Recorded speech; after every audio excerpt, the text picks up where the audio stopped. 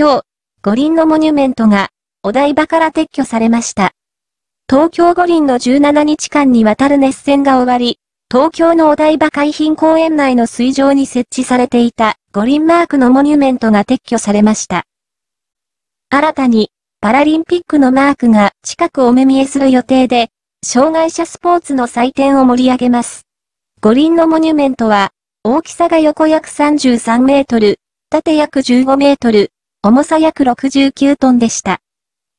昨年1月にお披露目された後、新型コロナウイルスの感染拡大の影響により、東京五輪が延期され、メンテナンスのため、しばらく姿を消したものの、同12月に再設置されました。